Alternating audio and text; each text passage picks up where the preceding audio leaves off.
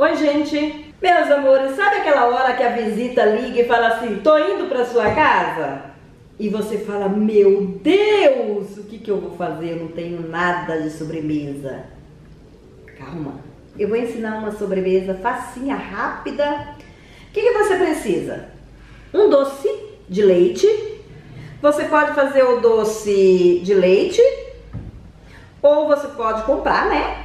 Ou você pode fazer aquele leite condensado cozido, creme de leite.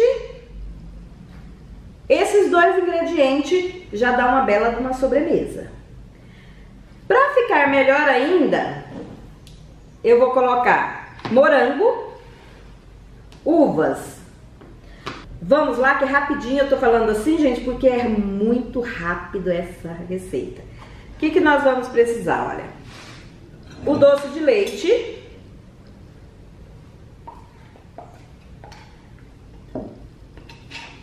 A quantidade vai estar na descrição do vídeo. Só que você pode fazer mais ou menos. Lembrando, o mesmo tanto de doce de leite é de creme de leite. Então você pode fazer 100 gramas de doce de leite e 100 de creme de leite. Ou 500 de doce de leite e 500 de creme de leite. Lembrando que essa, olha, o creme de leite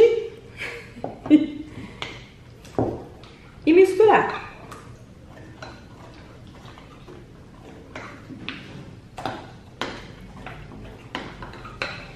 Aqui praticamente já tá uma sobremesa.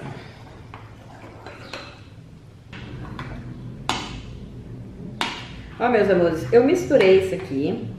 Agora eu vou colocar o morango. A quantidade aqui depois vai estar na descrição, o morango.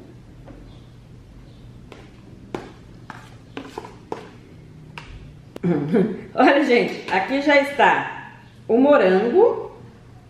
Agora eu vou colocar um pouco só de uva, porque eu, eu coloquei muito morango. Então na descrição da, do vídeo vai ter menos morango, tá? Se vocês não tiver o morango, nem a uva, vocês levam o creme para gelar.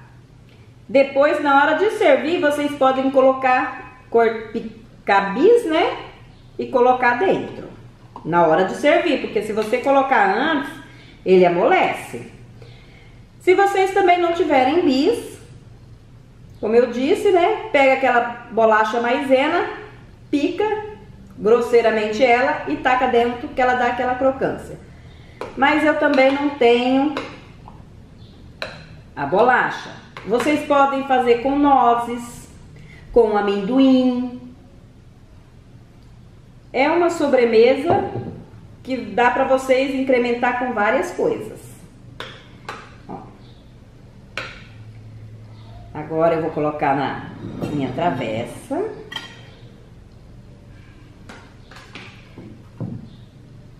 Eu poderia já deixar aqui, né? Mas vou transferir ela.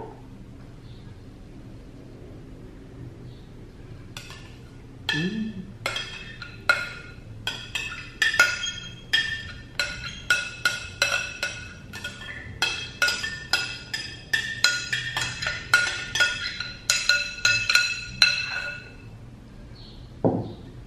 Olha, gente, a minha sobremesa já está pronta, né? Agora é só levar ela para gelar. Poderia ter deixado na outra vasilha, mas eu preferi assim porque eu quero enfeitar, já deixar ela enfeitadinha.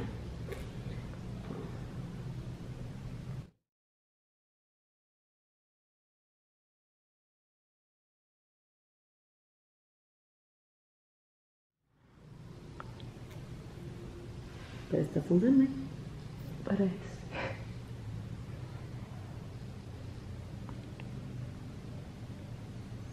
Gente, a sobremesa está pronta. Agora é só levar para gelar. Viu como é rápido? E prático. E uma delícia. Agora é só esperar a visita chegar, né? Se vocês querem que ela gela mais rápido, coloque ela no freezer. No meu caso aqui, eu não vou colocar ela no freezer, vou deixar ela na geladeira mesmo. Eu espero que vocês tenham gostado. Se gostou, deixe um joinha. Não se esqueça de se inscrever no meu canal. Fica com Deus e até o próximo vídeo.